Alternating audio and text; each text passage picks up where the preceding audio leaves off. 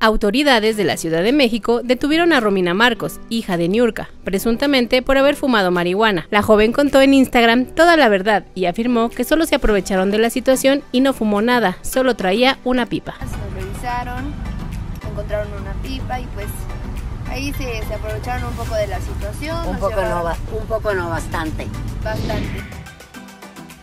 La tarde del pasado jueves 27 de junio, el medio artístico se vistió de luto con la muerte de Gualberto Castro, quien falleció a causa del cáncer de vejiga y la hipercalemia que padecía.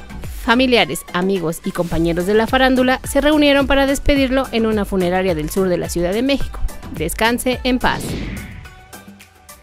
A unas horas de que Chiquis Rivera y Lorenzo Méndez se juren amor eterno, la astróloga Carla Ruiz advirtió el escenario que podría pasar, y es que afirmó en entrevista que la pareja no se va a casar, ya que existen muchos problemas entre ellos.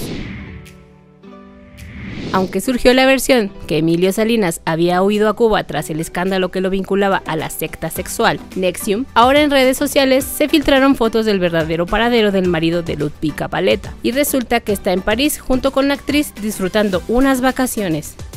Estas fueron las irresistibles de TV Notas.